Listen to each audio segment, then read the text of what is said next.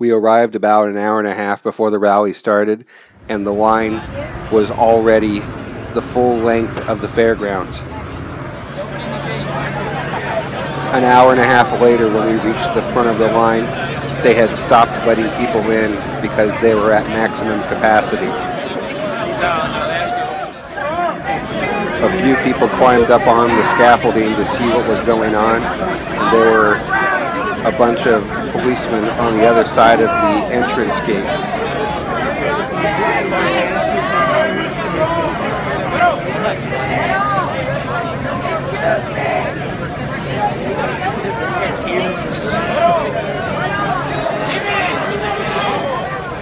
Eventually, policemen on horseback came in and forced everyone away from the gates since they were no longer letting people in.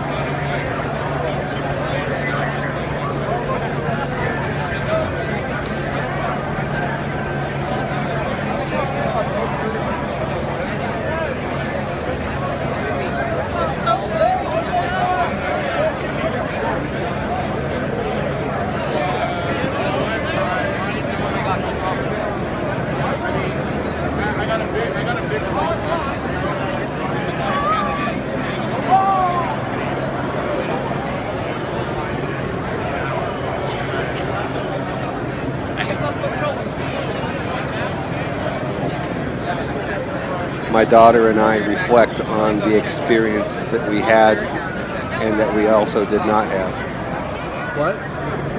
Are you upset that we didn't get in? I'm a little frustrated.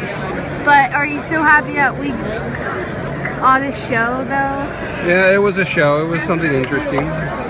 At least we have a story to tell, and um, it would have taken a lot more time. Well, but we would have actually seen him speak too. But it's okay. This is an experience in itself.